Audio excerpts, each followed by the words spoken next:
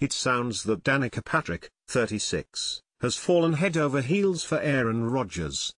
He's funny. He's very kind.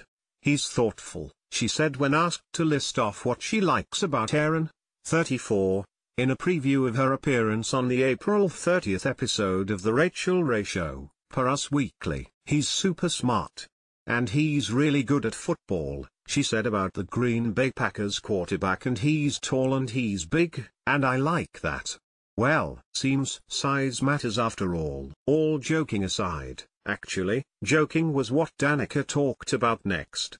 When asked when was the last time she laughed so hard that she cried, the former NASCAR driver brought up how she and Aaron recently traveled to do some humanitarian work. We just went on a trip around the world. Literally, she told Rachael Ray, 49. We met the Dalai Lama. We did a mission trip for giving hearing aids to people in Africa, and there were some seriously funny people on this trip. There's one guy that I look at and his face makes me laugh, so for a week straight, I just laughed. I think I have a six-pack from it. Laughter is the best medicine and, it seems, it's also the best workout. It certainly sounds like Danica has found happiness with her new love.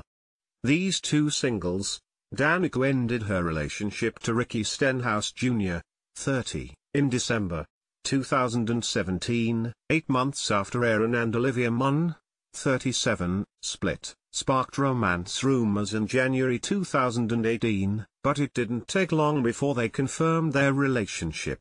The two seemingly made it official by going on a handful of dinner dates.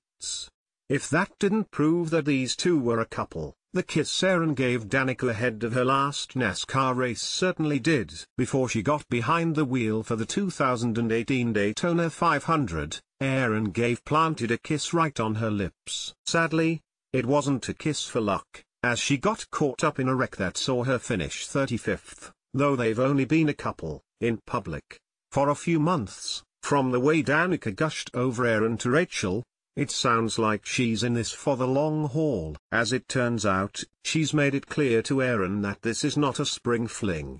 She is all in to make this work and be with him forever, a source close to Danica exclusively told HollywoodLife.com, adding that Aaron feels the same.